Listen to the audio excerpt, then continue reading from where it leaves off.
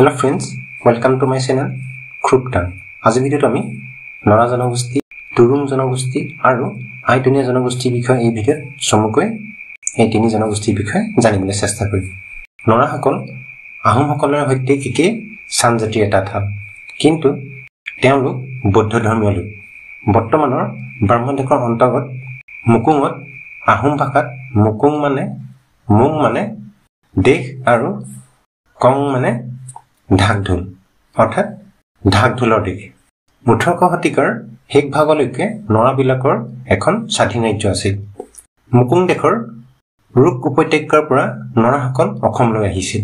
মুকুং দেশৰ ৰজা আৰু আহোম ৰজাই দুয়ো দুয়োকে ভাই ৰজা ভাই ৰজা বুলি সম্বোধন কৰিছিল।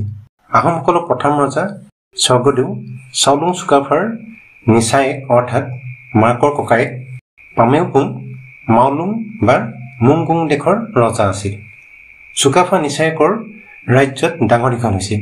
বহুতৰ মতে স্বৰ্গৰাজ লেংডনৰ প্ৰদত্ত আহোমৰ কুল দেৱতা চোমদেউ পামেওপুঙৰ হাতত আছিল। পামেওপুঙৰ পুত্ৰ চুখানফা বা চুখ্ৰানফা ওৰফে নাইচানফা পিতৃ ৰাজ্যত ৰজা হোৱাত চুকাফাই কুল দেৱতা চোমদেউ হস্তগত কৰি মুংমাও বা মুংকুং ৰাজ্য ত্যাগ কৰি। পাটকা পৰ্বত পাৰ হৈ তেওঁ বাৰশ আঠাইছ খ্ৰীষ্টাব্দত হোমাৰ বা ব্ৰহ্মপুত্ৰ উপত্যকাত প্ৰৱেশ কৰি তাত তেওঁ আহোম সাম্ৰাজ্য স্থাপন কৰিলে। আহোম ৰজাৰ সৈতে নৰা ৰজাৰ মাজে সময়ে যুদ্ধ হৈছিল যদিও দুই ৰজাৰ ভিতৰত বৈবাহিক সম্বন্ধও স্থাপন হৈছিল। আৰু দুই ৰজাৰ কটকী প্ৰীতিপূৰ্বক স্বৰ্গদেউ কমলেশ্বৰ সিংহৰ দিনলৈকে তেওঁলোকৰ মাজত খা খবৰ যাতায়াত চলি আছিল। বন্ধুসকল যিসকল এই চেনেলত প্ৰথম আহিছে তেওঁলোকে যাতে চেনেলটো ছাবস্ক্ৰাইব কৰি বেল আইকনৰ অলপ ক্লিক কৰি লয় যেন। চৈধ্যশ এক খ্ৰীষ্টাব্দত আহোমৰ বৰগোহাঁই থৌমুং আৰু নৰা ৰজাৰ বৰগোহাঁই তাচিন পোলৌ যুদ্ধ কৰিবলৈ আগবাঢ়ি আহি যুদ্ধ নকৰি নংয়াং হ্ৰদৰ পাৰত কুকুৰা কাটি শপত খাই সন্ধি কৰে আৰু পাটকাই পৰ্বতকে দুয়ো ৰাজ্যৰ সীমা নিৰ্ধাৰণ কৰে। আৰু সেই ঠাইতে দুই বৰগোহাঁইৰ দুটা প্ৰতিমূৰ্তি শিলৰ কাটি ৰখা হয়। পূৰ্বে এই পৰ্বতৰ আহোম নাম আছিল দয় কাউৰং মানে নটা পৰ্বত গোট খোৱা। কুকুৰা কাটি শপত খোৱাৰ পৰা এই পৰ্বতৰ নাম পাটকাই হ'ল। অৰ্থাৎ আহোম ভাষাত পাটকাই চেংকেও মানে কুকুৰা শপত খোৱা। মুংকুং বা মাউলুং অসমৰ গাতে পাটকাইৰ পূবে লাগি থকা এখন দেশ। অতীজত নৰাসকল আহোমসকলৰ সৈতে একেই জাতিৰ একে ভাষা ভাষী আৰু একে ধৰ্মীয় মানুহ আছিল। অনুমান কৰা হয় যে আহোমসকল অসমলৈ অহাৰ পাছতহে নৰাসকল বৌদ্ধ ধৰ্মত দীক্ষিত হ'ল। নৰাসকল অসমলৈ কেতিয়া আহিছিল সেই বিষয়ে সঠিককৈ জনা নাযায়। হয়তো স্বৰ্গদেউ চুকাফাৰ লগতো কিছু নৰা মানুহ অসমলৈ আহিছিল আৰু তেওঁলোক আহোমৰ লগত মিলি গৈছিল। বুৰঞ্জীত পোৱা যায় যে স্বৰ্গদেউ চুহুংমুঙে পোন্ধৰশ চৌবিছ খ্ৰীষ্টাব্দত নৰা ৰজাৰ ভনীয়েকক বিয়া কৰাইছিল আৰু চুহুংমুঙেও নৰা ৰজালৈ আহোমৰ এগৰাকী কন্যা দিছিল সেইমতে কিছু নৰা মানুহ অসমলৈ আহিব পাৰে।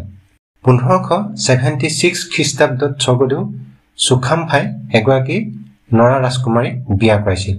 সেই কন্যাৰ লগত নৰা কোঁৱৰ নৰা বাইলুং আদি আৰু এহেজাৰজনমান নৰা মানুহ অসমলৈ আহিছিল। তাৰ পাছতো কেইবাজনো স্বৰ্গদেৱে কেইবাগৰাকী নৰা ৰাজকুমাৰীক বিয়া কৰাইছিল। সেই ৰাজকুমাৰীসকলৰ লগতো কিছু নৰা মানুহ অসমলৈ আহিব পাৰে। স্বৰ্গদেউ ৰাজেশ্বৰ সিংহৰ দিনত বকতিয়ালৰ গেন্ধেলা কীৰ্তিচন্দ্ৰ বৰুৱাই নিজক প্ৰকৃত আহোম বুলি প্ৰমাণ কৰিবলৈ তেওঁ নৰা দেশৰ পৰা কিছু মানুহ অসমলৈ আনিছিল। বহুতে বৰবৰুৱাই নৰা দেশৰ পৰা অনা মানুহবিলাকক ফাকিয়াল বুলি ক'ব খোজে। অসমলৈ অহা সৰহসংখ্যক নৰা মানুহ আহোমৰ কোনো নহয় যদিও তেওঁলোক আহোমৰ কোনো এক খেলত অন্তৰ্ভুক্ত হৈ সম্পূৰ্ণ আহোম হৈ পৰিল। যিসকল নৰা মানুহ আগৰ ৰীতি নীতি ধৰ্মত থাকিল সেইসকল আজিও পৃথক হৈ থাকিল। শিৱসাগৰ মহকুমাৰ দিচাংপানী চলাপথাৰ আদিত আৰু যোৰহাট মহকুমাৰ তিতাবৰ আৰু মৰিনীৰ মাজত পূৰ্বৰ ৰীতি নীতিত থকা নৰা জনগোষ্ঠীৰ লোক আছে। তেওঁলোক আজিও বৌদ্ধ ধৰ্মীয় লোক। তেওঁলোকৰ প্ৰত্যেক গাঁৱতে বৌদ্ধ বিহাৰ আছে। তেওঁলোকবিলাক চাংঘৰত থাকে আৰু পিন্ধন উৰণত খামটি আৰু ফাকিয়ালসকলৰ দৰে। তেওঁলোকে টাই ভাষা কয়। নৰা জনগোষ্ঠীসকলৰ আৰ্থিক অৱস্থা একেবাৰে শোচনীয়। খেতিয়ে হ'ল তেওঁলোকৰ প্ৰধান জীৱিকা। এতিয়া আমি তুৰুং জনগোষ্ঠীটোৰ বিষয়ে কিছু কথা জানিবলৈ চেষ্টা কৰিম। তুৰুং জনগোষ্ঠীক টাই তুৰুং বুলিও জনা যায়। উত্তৰ পূব ভাৰতত এই টাই তুৰুংসকল বৌদ্ধ ধৰ্মীয় লোক। তুৰুং জনগোষ্ঠীৰ মুঠ জনসংখ্যা হ'ল প্ৰায় দহ হেজাৰজন উল্লেখযোগ্য যে এই জনসংখ্যা থকা অঞ্চল হ'ল যেনে অসম আৰু অৰুণাচল প্ৰদেশ। দুয়োখন ৰাজ্যতে তেওঁলোকে অসমীয়া আৰু সিংহ ভাষা কোৱা দেখা যায়।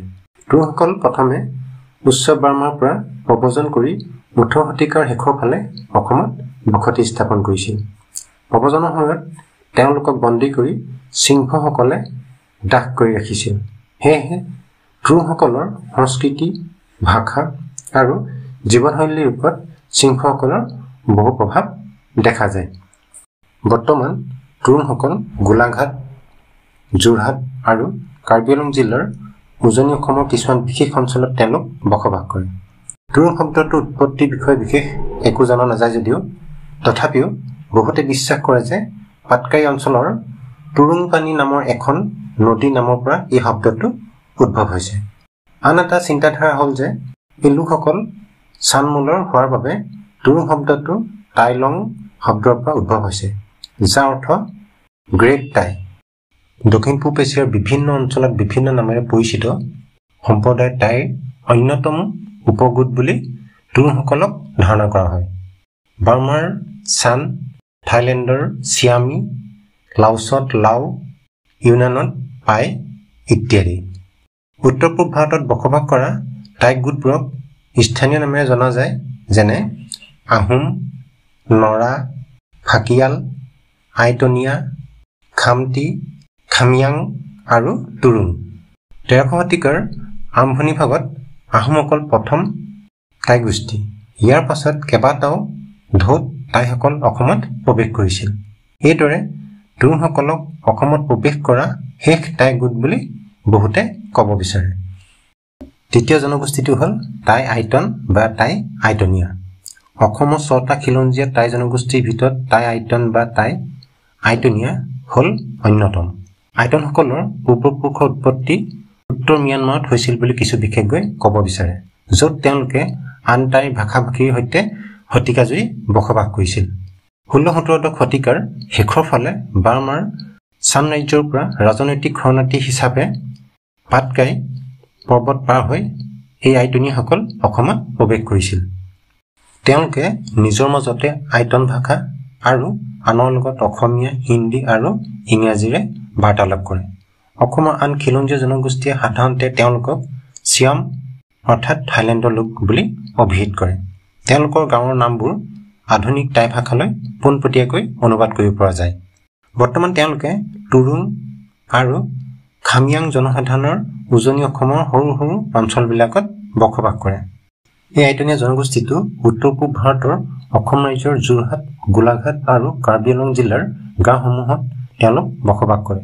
তেওঁলোকৰ জনসংখ্যাৰ বিষয়ে সঠিককৈ জানিব পৰা নাযায় যদিও আঠ হাজাৰতকৈ কম হ'ব বুলি অনুমান কৰা হয়।